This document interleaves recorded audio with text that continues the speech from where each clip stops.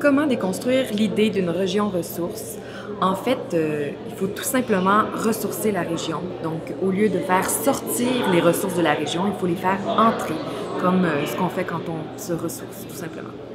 Moi, je m'appelle euh, Marinèche Je crois que c'est vraiment important de soutenir nos régions,